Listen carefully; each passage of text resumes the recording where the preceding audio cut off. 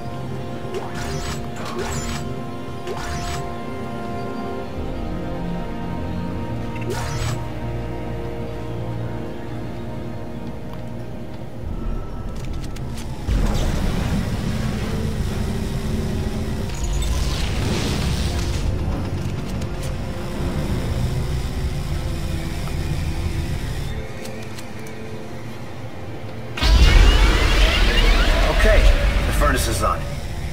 How's it looking from...